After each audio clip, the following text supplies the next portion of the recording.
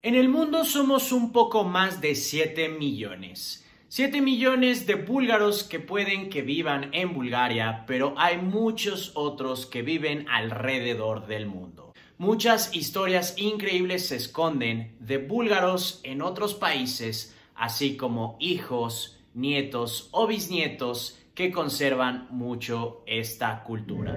Así como yo amigos que tuve que aprender un nuevo idioma, tuve que adaptarme y tuve que vivir en otro país. Amigos, hay muchos otros que tuvieron que hacer lo mismo.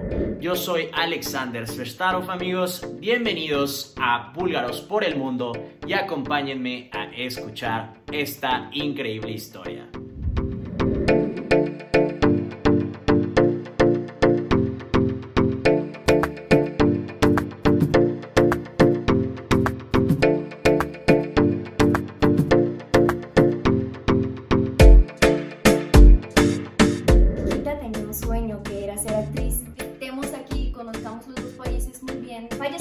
Siempre vas a encontrar cosas interesantes que puedes hacer. Efectivamente le ponemos yogur a todo. Me va a hacer el de los elotes con queso y mayonesa. Pan de la comida de la calle. Pues yo viví en Iztapalapa durante dos años y medio, así que me atrevo a decir que no me hace falta barrio.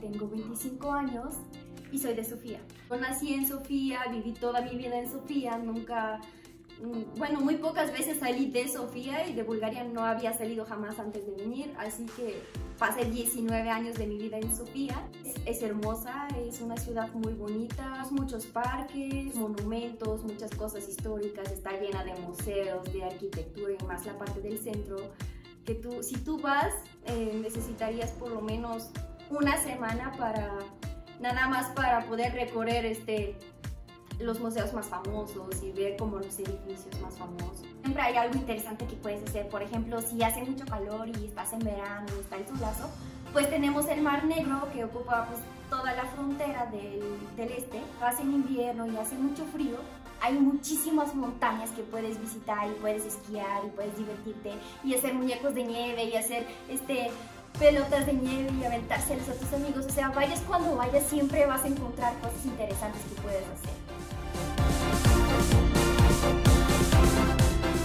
Pues ahorita vivo en la Ciudad de México, llevo casi seis años aquí. Llegué a los 19 porque desde chiquita tenía un sueño que era ser actriz. En los 8 años estuve soñando y preparándome para poder cumplirlo. A ver, ¿por dónde?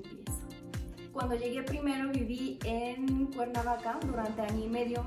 Eh, primero entré a estudiar en una escuela de teatro que se llama SEMA, Centro Morenense de las Artes. Pues estaba estudiando ahí, eh, tuve un pequeño problema con mis papeles para quedarme en México.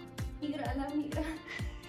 Pasó que se me vencieron y luego una abogada me aconsejó que saliera de México y volviera a entrar para que otra vez me dieran mis este, seis meses de turista. Pero lo que hice, bueno, intenté hacer porque no llegué a salir de México. Estaba en la frontera de Chetumal con Belice y migración pues se dio cuenta que yo tenía los papeles vencidos. Entonces, yo no sabía, pero lo que procede en estos casos es que te encierran en una cosa que se llama estación migratoria, que pues es una cárcel como tal, es súper, súper gruesas, este, igual las puertas eran tan pesadas y grandes que varias personas tenían que empujarla para que se pudiera abrir y estuve ahí durante un mes. Luego lo que pasó fue que me regresaron a Bulgaria. Llama, bueno, no es deportación como tal, en este caso es retorno asistido eh, no me castigaron eh, con prohibirme la entrada a México porque no había entrado de una forma ilegal, así que podía regresar y al mes y medio fue que volví. Otra vez me dieron seis meses, otra vez estuve viendo cómo y otra vez me estaba venciendo el tiempo.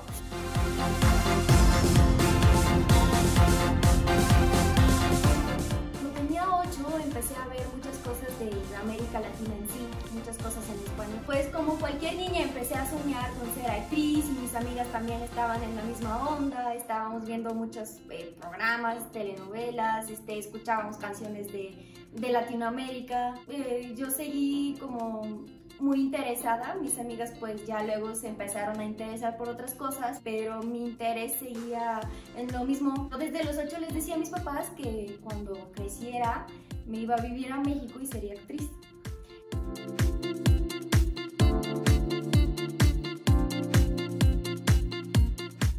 Qué México precisamente? Pues porque se dice que es como el Hollywood de Latinoamérica, parte de las televisoras de aquí tienen su propia escuela, así fue que durante todos estos años aprendí español, nunca tuve profesores, siempre fue porque escuchaba todo de, todo de aquí, este, veía entrevistas con los actores, escuchaba sus canciones, veía todo, veía todo lo que salía, comerciales, eh, veía la tele en vivo por internet, todo lo que se te puede ocurrir yo lo hacía.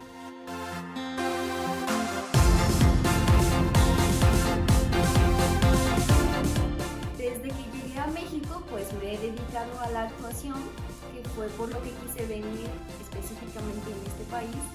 Em, actualmente estoy estudiando en el CEA de Televisa y quiero este, presumir que soy la primera y la única búlgara que ha entrado en esta escuela, entonces estoy muy emocionada y me siento muy orgullosa, la verdad. Em, ya casi me voy a graduar en diciembre. Mira que tenemos es muy muy diversa, no tenemos tortillas, pero tenemos pan y es un pan muy rico y muy bueno, este, especialmente el artesanal. Este sí lo recomiendo mucho. Eh, estamos cocinando mucho al horno.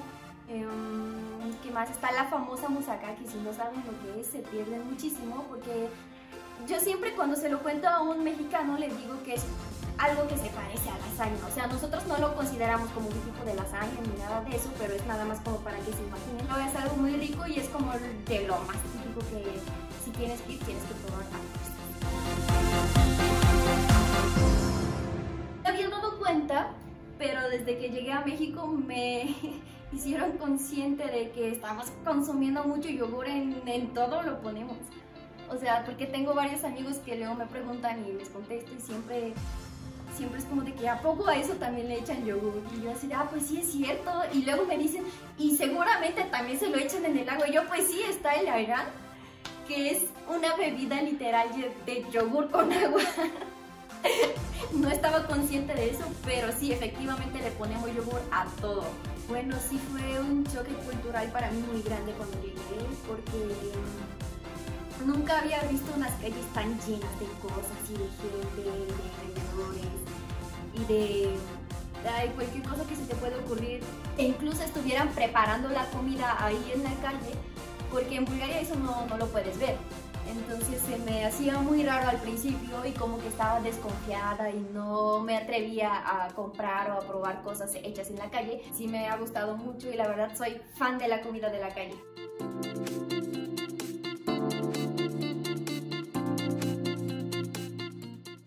Comida preferida son las enchiladas siempre prefiero las cosas de salsa verde. Soy fan de la salsa verde o de aguacate.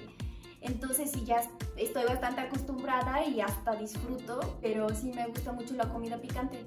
Y hasta yo por mi cuenta ya le pongo salsa porque al principio era como de prueba, prueba, y yo, ay no, no, sí pica y todos, no, no pica, yo ya lo probé, no pica, pruébale. Y yo sí me confiaba. Y luego hay este, cosas picosas que las pruebas y pasan como tres segundos y no te pica nada y de repente empiezas a sentir un ardor. No. son de los peores, este, son de las peores bromas que me han hecho y las peores cosas que me han pasado. Porque luego se te duerme la lengua y ya ni disfrutas nada.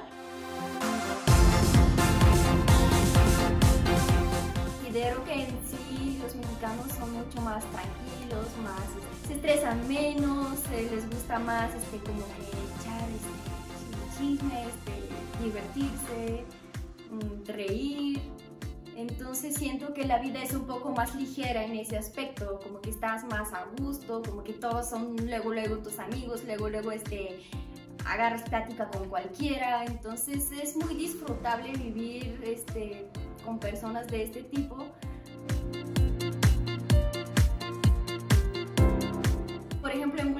Nunca pasa que pase el camión de la basura y esté suene, la campañita cuando estás dormido todavía. Tampoco pasa que te estén vendiendo este, cualquier cosa y le estén anunciando así como el de los colchones, pasa el de los tamales, pasa el de la policía, pasa la ambulancia, pasa el de los elotes con queso y mayonesa.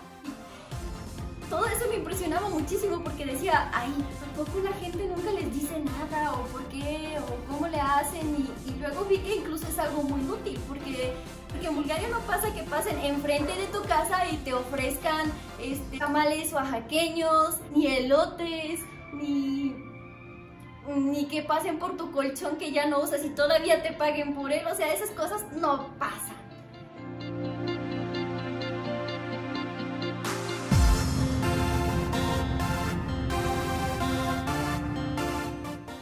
покано всички българи да дойдат в Мексико, защото има много интересни неща, които в България никога няма да можеш да ги видиш. Eso va a ser todo de mi parte por ahora. Si me quieren hacer preguntas o cualquier cosa, lo pueden hacer en mi página. Y suscríbanse en el canal de Alex y vean todos sus videos. Pongan la, la lista de todos los canales de YouTube y píquenle a todos.